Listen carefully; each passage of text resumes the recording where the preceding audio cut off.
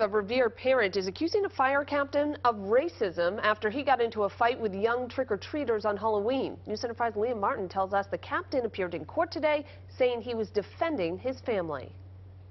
Defendant then struck the 14-year-old in the back of the head with a golf club. Captain Carl Holmberg facing four felony counts, accused of beating three juveniles with a golf club Halloween night. You know that. Tell the truth. The father of two of those kids shouting at Captain Holmberg as he left court Monday. Jameson Guillaume, that's a picture of Robert Bland, the 11-year-old and the 14-year-old. They good kids, they play football, they don't start no trouble.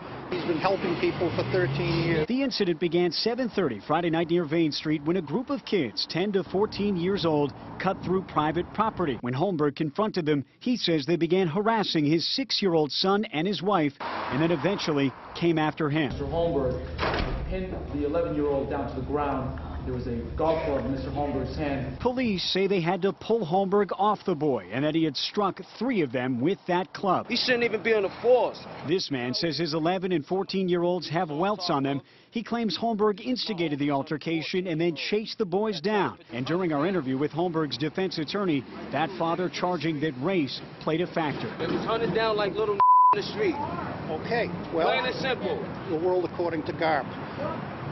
It's not According racial. to a father. It's, it's not racial. Is there anything that Carl wants to say? Captain Holmberg would not talk with us directly Monday, but his attorney says he did what any parent would do. He's with his own six-year-old. He's with his wife. And this will get sorted out. Now, Holmberg claims he did not actively strike the kids with that club, just fended them off. He's on paid administrative leave from the fire department and is due back in court November 20th. I'm Lee Martin, WCVB News Center 5.